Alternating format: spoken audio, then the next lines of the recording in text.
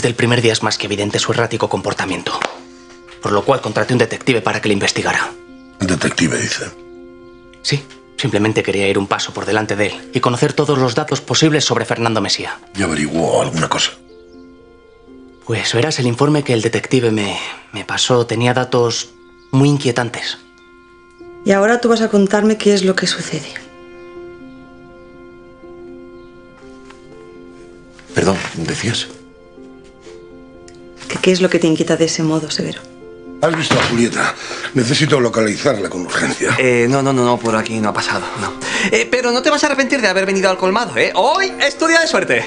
¿Y eso por qué si ya no está aquí? Bueno, pues porque el destino te ha ofrecido la oportunidad de tu vida, ¿eh? Yo te puedo convertir en el hombre más dichoso de Puente Viejo. Porque te vas para no volver. Soy yo el que no haya sosiego. Y ahora que conozco las intenciones del doctor Fulgencio para conmigo, no puedo quedarme de brazos cruzados. Voy a hacer lo imposible para no perder la cordura. He de cuidar de Francisca, ¿comprende? Comprendo. Mas lo único que puedo hacer es rendirse. Raimundo Ulloa no se rinde jamás. Tiene que ayudarme. Ya, ya. O sea, ah, ¿Eso quiere decir acaso que no nos van a comprar todas las radios, no? Onésimo, el ayuntamiento no tiene presupuesto y menos para eso. Ah, ¿y si me compran al menos una radio? ¿Mm? Por favor, por favor. Aún no puedo creer que hayas conseguido venderle una radio al alcalde. Está prácticamente convencido, ¿eh? No tuve que rogarle ni siquiera ponerme de rodillas. Magnífico, magnífico. Ahora seguro que los vecinos se animan viendo que el alcalde tiene una, porque es un ejemplo a seguir. Sí, sí, sí, pronto alcanzaremos el mayor de los éxitos, ¿eh?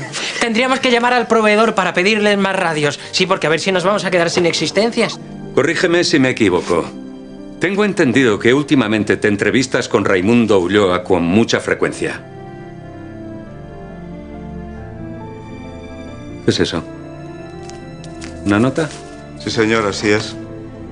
A la desesperada, el señor Ulloa me encargó que se la entregara a sus allegados en Puente Viejo.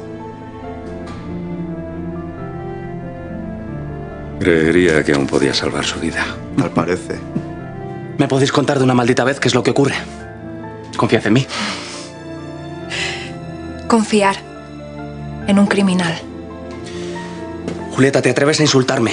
Con conocimiento de causa, Prudencio.